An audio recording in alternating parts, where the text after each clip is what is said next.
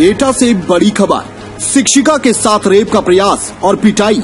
मामले में चार आरोपियों को पुलिस ने किया गिरफ़्तार। दो आरोपी अभी भी हैं फरार। दबंगों ने कल शिक्षिका सहित माँ और बहन को दौड़ा दौड़ा कर पीटा था। नवोदय में तैनात शिक्षिका और माँ और बहन की पिटाई का वीडियो हुआ वायरल। पीड़ित शिक्षिका ने मुख्यमंत्री और जिला प्रशासन से हाथ जोड़कर लगाई थी न्याय की गुहार। पुलिस ने अब मामले में वांछित चारों आरोपियों को किया गिरफ़्तार। दो शातिर आरोपी अभी भी फरार हैं।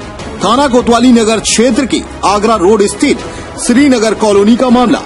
सर ये थाना कोतवाली नगर क्षेत्र में दो पक्षों में कुछ मारपीट का मामला सामने आया था। क्या है पूरा मामला? जनपद एटा के थाना कोतवाली नगर क्षेत्र में इक्कीस तारीख को एक विवादित प्लाट के कब्जे को लेकर दो पक्षों में मारपीट हाथापाई की घटना हुई थी।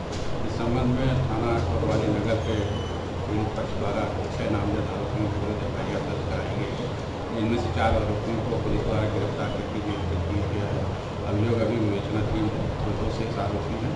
उनकी गिरफ्तारी के लिए पुलिस टीम गंभीरतापूर्वक प्रयास कर रही है। जल्दी ही उनको गिरफ़्तार करेंगे और उनको भी जेल में लगाएँगे। मैं अपने घर में सबसे छोटी हूँ बहनों में। एक भैया मेरा बहुत छोटा है, मुझसे छोटा है। चार पाँच साल पहले मेरे पापा की डेथ हो गई मर्डर हुआ था। तो मैं मतलब रिश्तेदारों और परिवार के लोगों ने मतलब मार डाला मेरे पापा को। आज नवंबर में हमारे यहाँ शादी वगैरह का फ़ंक्शन होने वाला था। तो हमारी दीदी काम चलवा रही थी तो उसने चम्बल मंगवा रही थी। तो हमारी दीदी हमसे बोला कि तुम जाके बाहर बैठ जाओ चम्बल खल रही है तो हम बाहर बैठ गए जाके। वहाँ पे दो लड़कियाँ हैं, हमें लगा कि ऐसे ही है। उससे पहले एक आदमी आया तो वो मास्क लगाया तो हम पहचाने नहीं। उसके साथ एक औरत थी। तो उनसे पहचानने का कौन है, हम यहाँ रहते ही, तुम जानते नहीं। मैं नवोदय में टीचर हूँ। अब मैं यहाँ रहती नहीं, अभी लॉकडाउन था, इसलिए मैं यहाँ पे आ गई थी, कोरोना की वजह से। और इन लोगों ने मतलब अकेला उन्होंने सोचा मैं अकेली हूँ। मम्मी दीदी तो गाँव चली जाती खेती बाड़ी करने। इन लोगों ने मतलब मेरे हाथ पकड़ के और ये मेरे, ये मारा मुझे और ये ज़बरदस्ती कर रहे थे। देखो ये, उनके हाथ में बहुत हथियार थे, धारीदार हथियार देखो, उन्होंने ये बहुत मारा मुझे। ये बहुत अंदरूनी मेरे कपड़े फाड़ दिए पूरा वगैरह, पेंट वगैरह। और देखो ये कपड़े फाड़े भैया।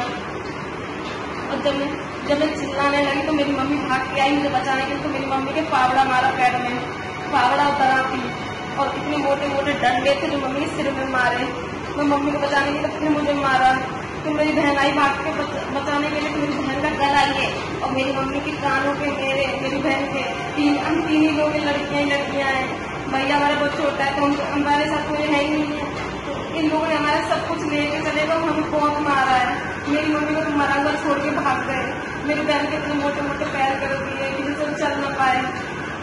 भैया, मुख्यमंत्री जी, मोदी जी, मैं सबसे सभी सभी प्रशासन से अनुरोध करती हूँ कि हम पे दया कर दो। हम लोगों को इन इन दानवों से छुटकारा दिलवा दो। हम कैसे धरती पे रहेंगे ये हम लोगों को जीने नहीं देते। इन्होंने मेरी मम्मी आज मार दी पूरे तरीके से। बस इतना अनुरोध कर पापियों को सजा दिला दो प्लीज़ आनंद कुमार सिंह की रिपोर्ट।